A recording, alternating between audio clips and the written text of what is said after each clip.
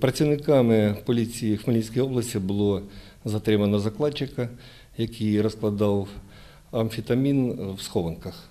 При огляді е, його особистих речей, а також в автомобілі, на якому він пересувався, було виявлено 23 таких пакета білого кольору, а також 133 закладки вже слідчі виявили в процесі відпрацювання. По даному факту сьогодні відкрито кримінальне провадження за частиною 2 статті 307 Кримінального кодексу України незаконне виробництво, виготовлення, перевезення, збут наркотичних засобів та психотропних речовин.